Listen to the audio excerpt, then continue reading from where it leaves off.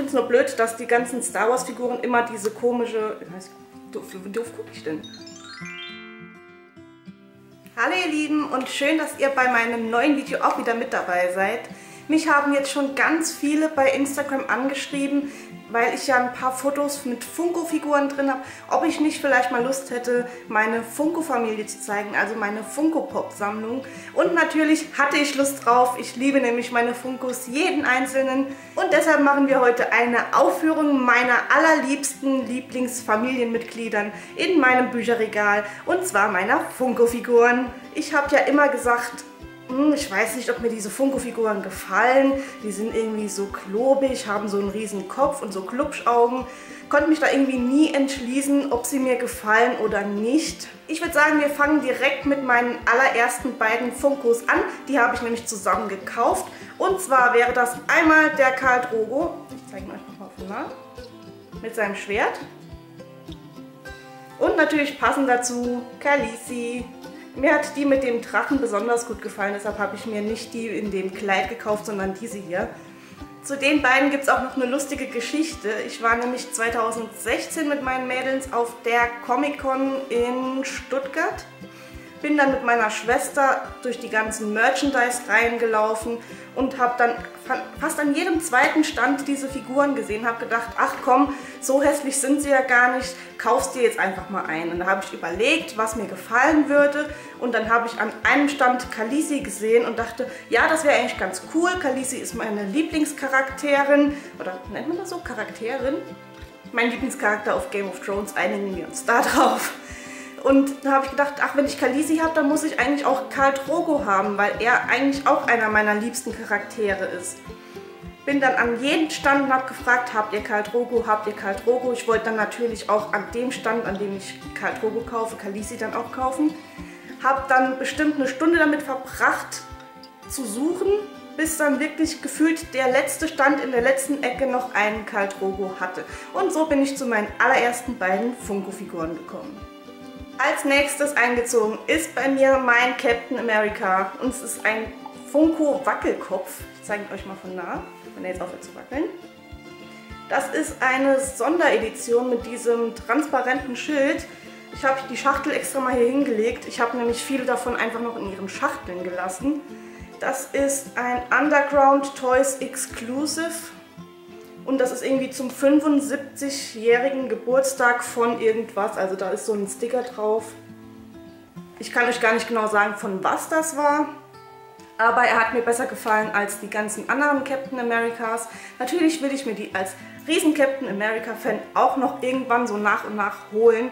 Aber ich habe mir gedacht, der hier ist jetzt mein erster und die anderen, die können nach und nach folgen. Es gibt ja noch so viel, die ich mir auch noch kaufen will. Und ist, ich finde es dann schöner, wenn ich verschiedene in meinem Regal stehen habe, anstatt jetzt fünf Captain Americas, aber dafür keine anderen aus anderen Themen oder aus anderen Serien oder Filmen. Dann habe ich diese beiden hier von meinem besten Freund bekommen. Das ist einmal der Darth Vader, Pfefferstreuer, kann man da hinten einfüllen. Und dann der Sturmtruppler Salzstreuer, kann man auch wieder hinten einfüllen. Die gab es zusammen in einer Doppelpackung. Die hat mir mein bester Freund, wie gesagt, zu Weihnachten geschenkt. Ich habe eigentlich gedacht, wir schenken uns nichts, aber wie das natürlich immer so ist, kommt dann doch was. Und, außerdem waren wir auch zusammen im Kino und haben uns Star Wars angesehen. Und wenn wir uns was schenken, ist Star Wars irgendwie immer so das Hauptthema. Die sind allerdings auch die ganze Zeit noch in der Verpackung, weil ich sie viel, viel, viel zu schade finde, um sie einfach für Salz und Pfeffer zu benutzen. Die müssen in mein Star Wars Regal. Und direkt neben denen steht nämlich diese hier. Das ist Ray.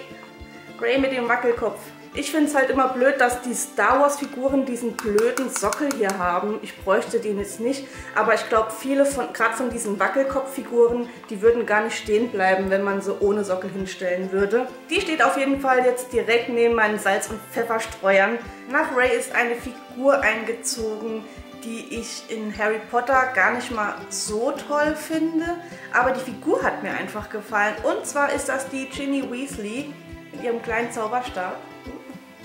Genau, da ist der Zauberstab. Ich habe ewig geschaut, wo ich sie kriege.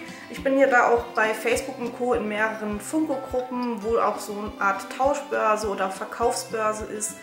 Und ich weiß nicht warum, ob diese hier besonders anfällig ist, aber jede Genie, die ich da gesehen habe, war mit abgebrochenem Zauberstab.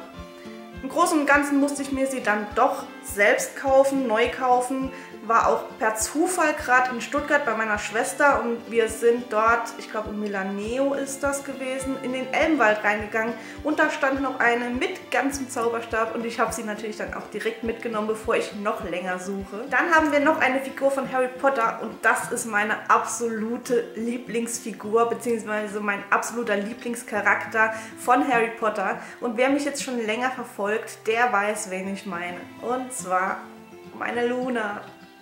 Und vor allem mit dieser Löwenmaske. Ich finde es so toll.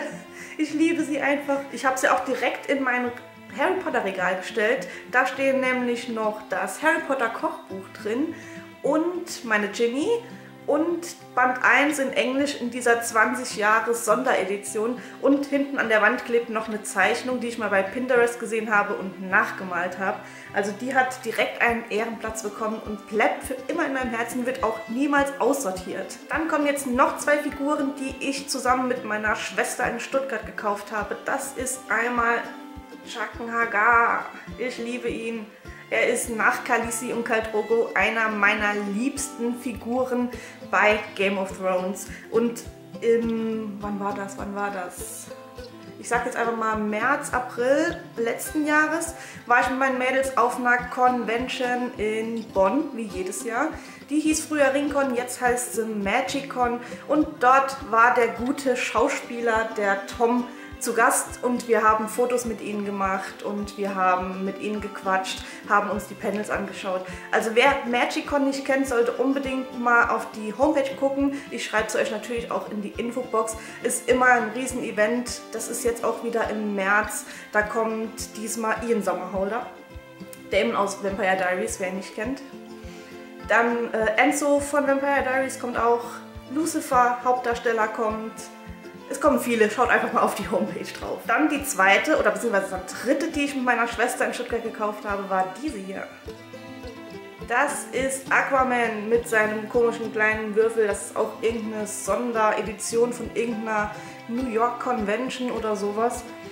Aber den guten Herrn habe ich ja schon als Kaltrogo im Regal stehen und jetzt habe ich ihn auch noch als Aquaman und dabei steht das Foto, das ich damals auf der Convention mit Jason Momoa zusammen gemacht habe. Also es ist mein kleiner Jason Momoa Schrein. Wie ihr seht, habe ich diverse Schreine in meinem Schlafzimmer stehen. Mein Freund ist begeistert. Was natürlich bei Game of Thrones nicht fehlen darf, ist dieser Kollege hier.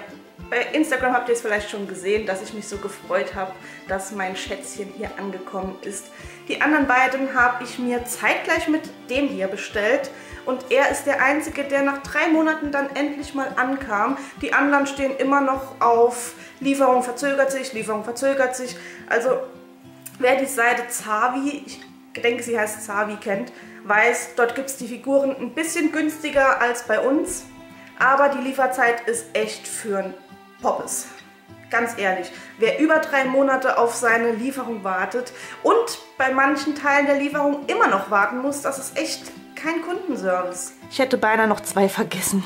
Ich habe gestern mein ganzes Bücherregal aussortiert und zwei mussten weichen. Das ist einmal der Frodo Beutlin in der Originalversion. Es gibt ja, glaube ich, noch einen, der im Dunkeln leuchtet. Und dann haben wir hier noch Sackboy. Ich habe dieses Little Big Planet Card ja sowas von gesuchtet. Habe mir da immer so einen kleinen Sushi-Sackboy gebaut. Das fand ich richtig witzig.